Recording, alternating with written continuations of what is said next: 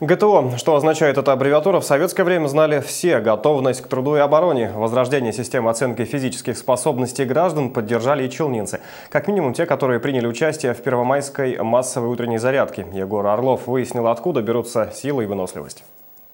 Настоящий праздник спорта в поддержку норм ГТО прошел при поддержке общественной приемной депутата Госсовета Сергея Рачкова. Те, кто не хотел выполнять упражнения, мог принять участие в играх и конкурсах, тоже на спортивную тематику. Занимаясь физкультурой, делать по утрам зарядку, совершать прогулки, то есть поддерживать свою физическую форму. Я не курил никогда. Все четверо моих сыновей тоже не курят и ведет здоровый образ жизни. То есть зарядка это то, что мне нравится и то, что я бы хотел вот э, немножко распространить и тиражировать. К проведению городской первомайской зарядки привлекли фитнес-инструкторов и именитых челнинских спортсменов. Семья Хамидулиных, чем не пример для подражания. В их копилке 18 золотых медалей чемпионатов мира. И в пользе утренней зарядки они не сомневаются. Обязательно!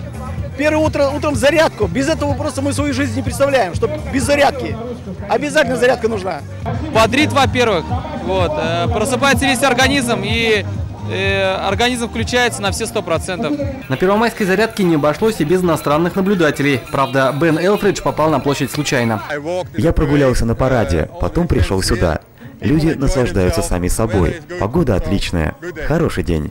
Вот так активисты показали свою поддержку системе ГТО, сдать нормативы, которые им по плечу уже сейчас. Но главные результаты такой зарядки все же здоровье и хорошее настроение. Ведь делать ее вместе – это весело. Егор Орлов, Радик Ганеев, РНТВ «Набережные Челны».